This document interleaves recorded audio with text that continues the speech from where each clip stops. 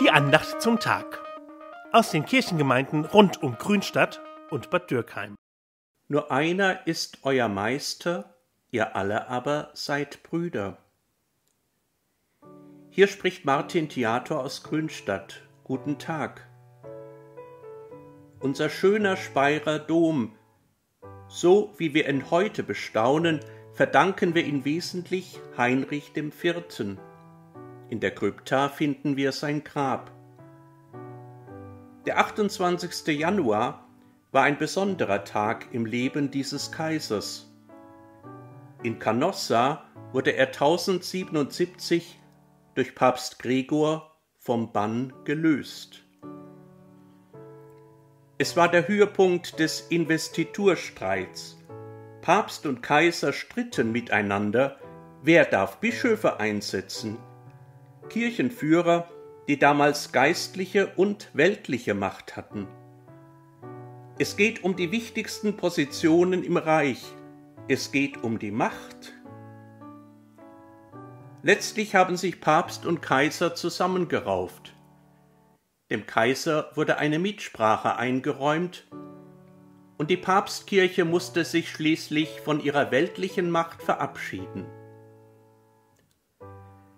Der Streit um die Macht. In meiner Kirche geht er aber irgendwie weiter. Auf der einen Seite der Papst, die Bischöfe, die geweihten Männer, die geistliche Macht des Klerus, auf der anderen Seite die Nichtgeweihten, die Laien, Männer und Frauen, die sich in unserer Kirche oft ohnmächtig fühlen.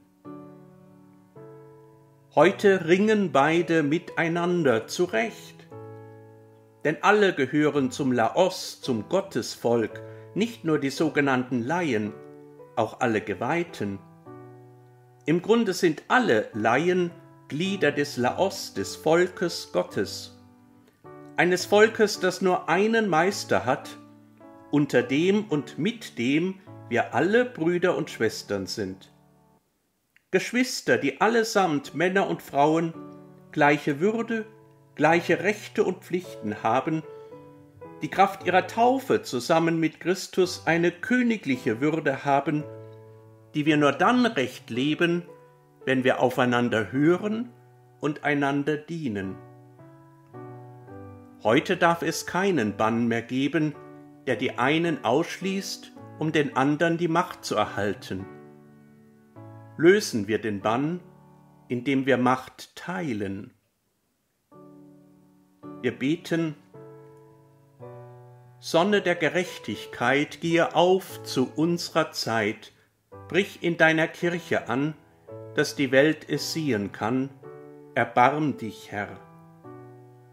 Lass uns eins sein, Jesu Christ, wie du mit dem Vater bist, in dir bleiben alle Zeit, heute wie in Ewigkeit. So segne uns alle der dreieine Gott, der Vater und der Sohn und der Heilige Geist. Amen.